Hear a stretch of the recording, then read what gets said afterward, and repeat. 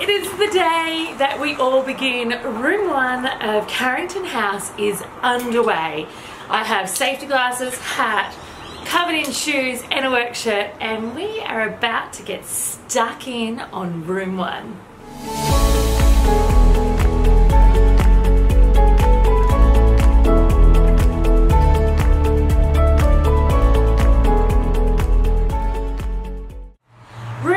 Is actually quite straightforward to demolish because uh, its ceilings and its walls are already gyprocked and they're in not great condition but at this stage I don't see any reason to waste that gyprock and take it to landfill. I will be taking down the boring old cornice that is there and we certainly will be having to do a lot of repairs to that gyprock. However, it is in pretty good nick and I see no use wasting it. The floor is a different kettle of fish.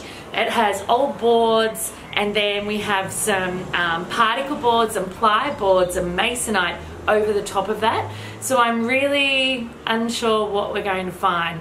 The whole purpose of today isn't to be demolishing the front part of this. We'll need to wait for the builders to come in to do that because we're going to then need to fit our doors for security, safety and privacy to there straight away. So today is all about taking up the floors and finding out what is below. It could be a surprise of excitement or despair. Let's see. One of the less glamorous parts of renovating and demoing is actually preparing the room and preparing the space. So, as you know, I'd already moved my offices and my team in here quite a while ago, and this room is being used as a storage space. So, I need to build capacity somewhere else for all of these boxes and this shelving to go, and I need to get it there fast. As usual, I love doing things with my dad, and he is naturally on site helping today. Okay, first things first, let's get this patchwork quilt of particle board and masonite that had obviously been put down by the previous owners to try and stabilize the floor. Let's get it up and out and see what we've got to work with. Okay, not as bad as I thought. We have a pile of beautiful wide hardwood boards which are in a state of disrepair, but at this point I still can't tell what is underneath. We're going to work hard at getting one of these boards up and then hopefully the rest will come up really simply. Okay, okay, it's obvious they are not coming up as easily as we thought.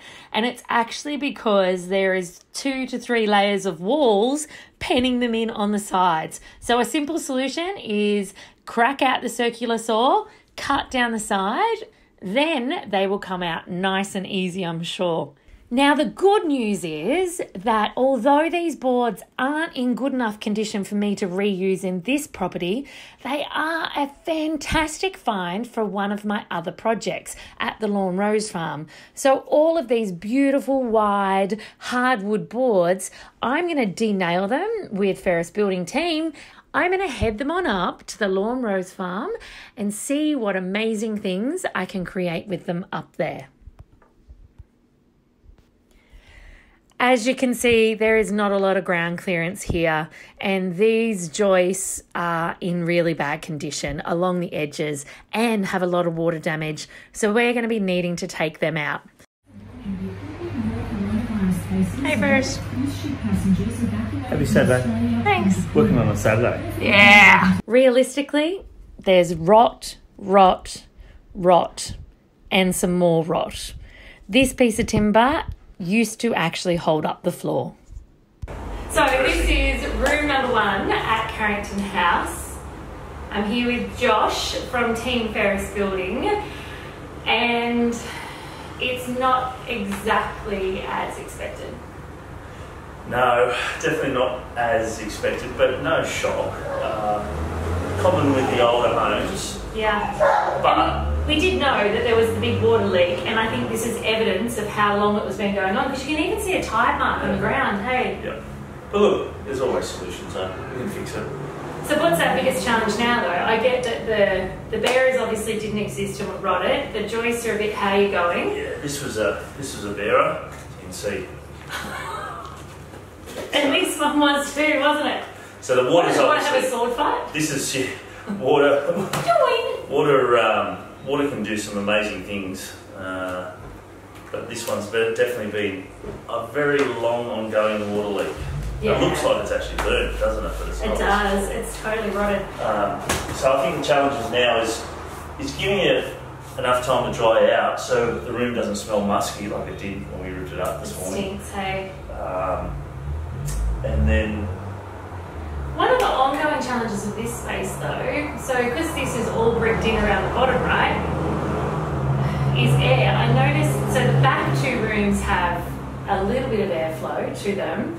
I noticed someone's like knocked a hole in over there, and I'm assuming that's to try and get some air to here, because that's into the back cavity. I would say that's probably to get power through, to tell you the truth. You reckon? Yeah. Well, these days the rules are part of the construction code is we have underfloor vents to get that airflow going.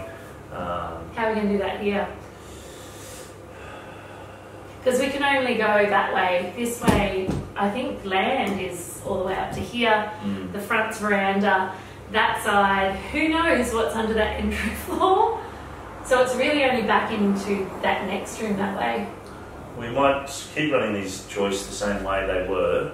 Yep. Um, and yeah, maybe cut some holes in this wall here, maybe in this corner to dry it out a bit more and get some airflow from the back there all the way around. That's probably one of the um, solutions. I think also clearing some of this dirt around the outside here.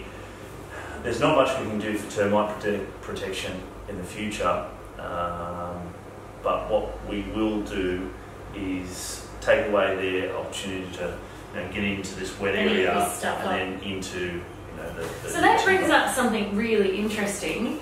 So most of the timbers that we've demoed out of here today have been in some state of disrepair. And often people would freak out and automatically assume that this is something, except for the fact that this is wet, if it was dry, that it's something to do with termites. Does wood rot, apart from being wet, which this is, if this was dry, can you tell the difference between looking at something for termite damage and something for water damage? Termite damage, you'll actually see uh, smooth little um, channels in the timber where they've eaten it away. This one, Like here- little moles where yeah, they're yeah, yeah. This one here's uh, the actual timber is still intact, but it just disintegrates when you pull it apart. So it doesn't have like little road maps where they Mm. ran. Yeah, this is just all, it's powdery, hey. Yeah. So I it's think um, even In Yeah. our, I all the architraves it's got the channels from the termites, so we can maybe show everyone. it's probably different timber. You're right. Yeah. I mean, hardwood they will eat hardwood, but they'll go elsewhere to find Softwood. softwood. Um, Lazy little creatures. But yeah, and, and they want, with the grain of hardwood, the, I mean, I'm not sure if this is a fact, but the, the experience I've seen is they don't like the hardwood because the grain is so tight and so hard. Yeah. Um, Opportune. They're opportune predators. they are. But with termites, they will eat it, but they'll leave enough there where it won't fall down. So your place will actually technically never fall down. They're that good at engineers. Are you serious? I'm serious. Um, promise you, yeah. They'll never Wow. ever eat it so bad that it'll fall down. That's random. Mm.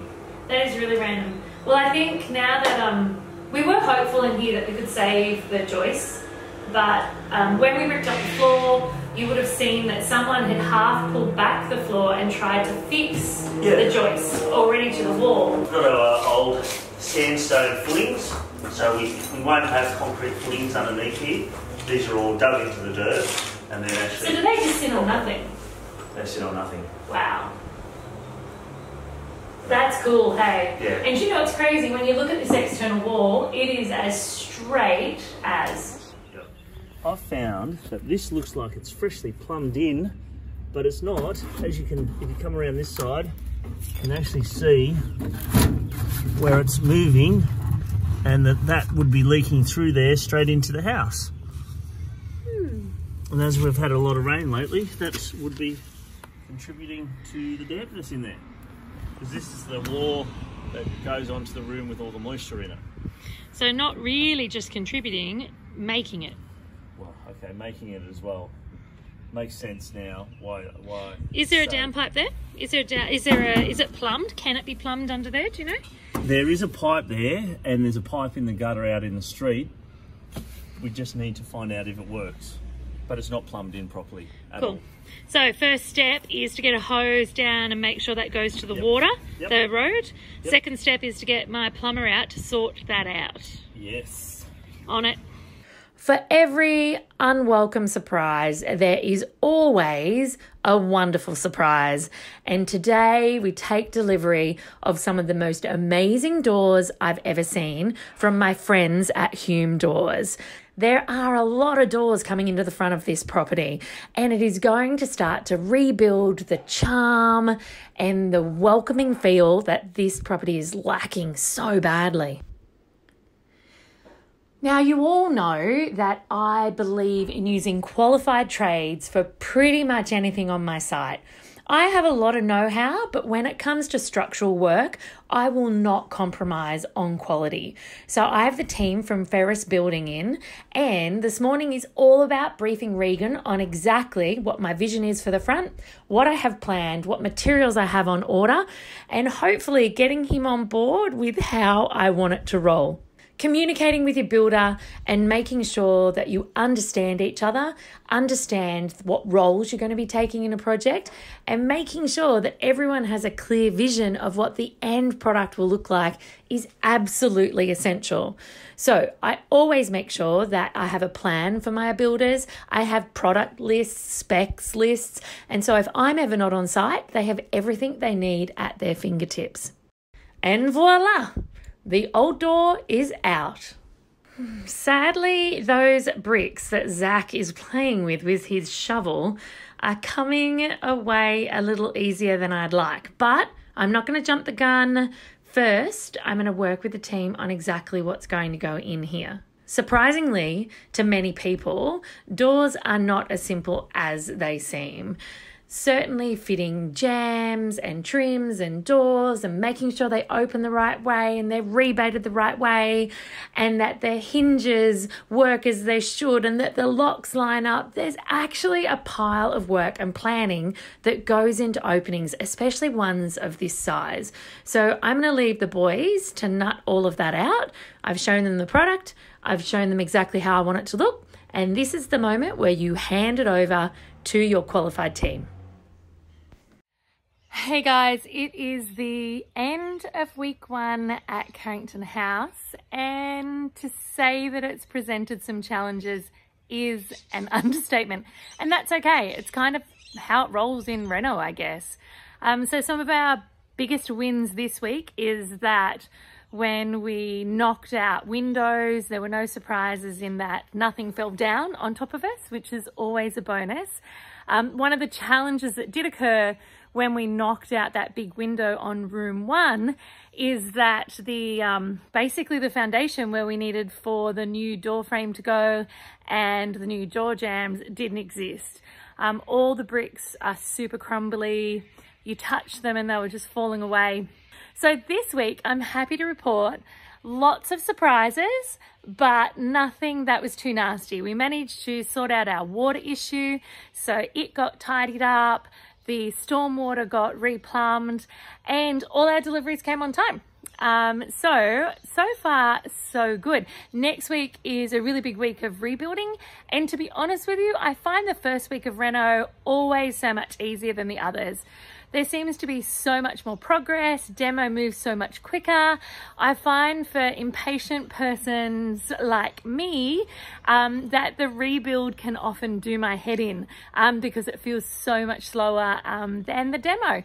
So I have big plans for next week. I'll let you know them in the next diary. Um, and until then, enjoy. Thanks for tuning in. Make sure you're following me on Instagram to see my latest design and Reno inspiration. You can find me at Naomi Findlay Official or click the link in my description. See you soon.